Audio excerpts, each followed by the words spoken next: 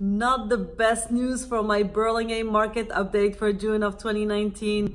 Hey, this is Nadia with the Elkhatib Group. So the biggest slowdown is in the number of homes sold this June, which went from 32 last year to only 19 this year. Uh, the median sale price uh, showed a slight decrease from 2.31 million last year to 2.24 million uh, in June of 2019. The good news is that homes are selling faster on average in about nine days versus 11 days last year. No need to panic. Burlingame is holding its value pretty strongly and homes are selling faster. More buyers are looking to relocate to the Mid Peninsula to be closer to San Francisco and the South Bay. I only see good things in the future. As always, reach out with your real estate questions and needs.